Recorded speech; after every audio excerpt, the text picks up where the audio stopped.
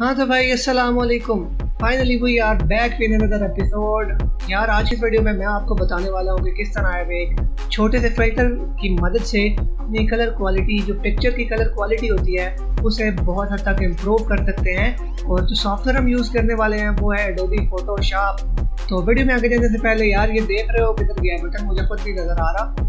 खैर, यहीं कहीं पे होगा। सब्सक्राइब का बटन उसे प्रेस कर देना यार, थोड़ी सी सपोर्ट हो जाएगी बाइक की। तो विदाउट वेस्टिंग एनी टाइम अब जल्दी से चलते हैं फोटोशॉप की तरफ़।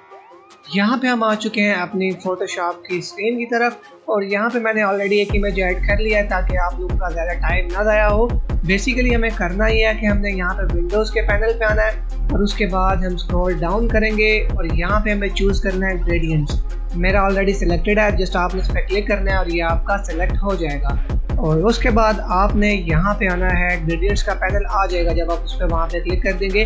बेसिकली हम यहाँ पे कलर्स में होंगे, उसके बाद हमने यहाँ ग्रेडियंट्स के पैनल में आना है। और उसके बाद यहाँ पे आप देख सकते हैं, ये जो सी लाइंस हैं, इन पे हमने क्लिक करना है और उसके बाद हमने यहाँ लेगेसी ग्रेडियंट्स वाला जो ऑप्शन है, उसे सेलेक्ट कर लेना है।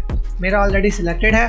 अब इसके बाद हम यहाँ पे जब मतलब बेसिकली ना हमारा यहाँ से शुरू होगा, उसके बाद हमने स्क्रॉल डाउन करना है और यहाँ पे हमें एंड पे नज़र आएगा लेगेसी ग्रेडियंट्स इसे हम ओपन कर लेंगे और इसके अंदर जो ऑप्शन हैं फोटोग्राफिक टॉनिंग ये जो इफ़ेक्ट्स हैं बेसिकली हम यूज़ करने वाले हैं अपनी आज के इस वीडियो में। तो यहाँ पे हमने, यहाँ से हमने इन्हें यूज़ नहीं करना। इन्हें यूज़ करने का जो सही मेथड है, वो ये है कि हमने यहाँ पे नीचे आना है।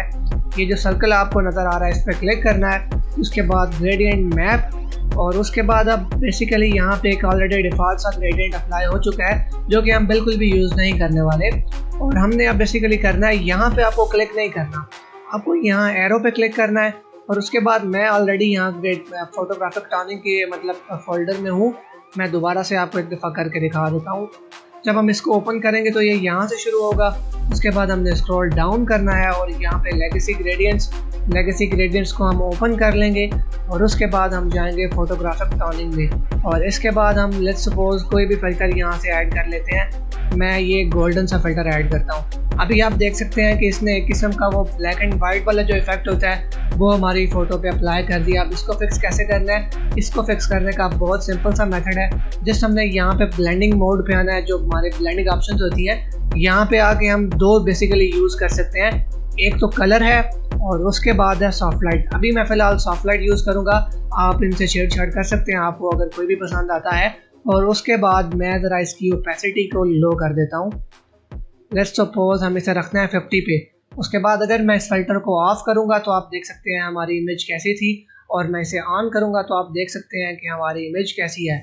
तो ये हमारे इफ़ेक्ट्स हैं, जो कि मतलब काफ़ी हद तक हमारी कलर क्वालिटी को इम्प्रूव कर देते हैं। यहाँ पे आप देख सकते हैं कि किस तरह हमारी और इस छोटे से फ़िल्टर ने हमारी ओरिजिनल कलर ग्रेडिंग को इम्प्रूव कर दिया है और अब ये उससे अलॉट बेटर लग रही है। इसके बाद अगर हम इस पर कोई और इफ़ेक्ट ऐड करना चाहें लेट सपोज़ हम इसको रिमूव करते हैं पहले। अबे रिमूव हो जा। तो ये हमारा इफ़ेक्ट रिमूव हो गया। अब इसके बाद हम इसे ये वाला इफ़ेक्ट देते हैं। खैर, मैंने ग्रेडियंट मैप तो ऐड ही नहीं किया। उसके बाद हम इस पर ये वाला इफ़ेक्ट कहाँ गया? वो इफ़ेक्ट ये वाला इफ़ेक्ट लगाते हैं और उसके बाद दोबारा से साफ़ लाइट और इसकी ओपेसिटी को हम थोड़ा सा और डिक्रीज डाउन कर देते हैं। फिफ्टी पे कर देते हैं इसे। तो अभी आप देख सकते हैं कि हमारी ओरिजिनल इमेज कैसी थी और अब कैसी है। होप कि आपको ये वीडियो पसंद आई होगी। अगर ये वीडियो आपको पसंद आई और इसने आपकी हेल्प किया तो मेक श्योर यार चैनल को सब्सक्राइब करो। इनशाला इसी तरह का क्वालिटी कंटेंट मैं आप लोगों के लिए लेके आता रहूँगा। अब मैं मिलूँगा आपसे आने वाली एक नई इंटरेस्टिंग वीडियो में। तब तक के लिए अल्लाह हाफिज़।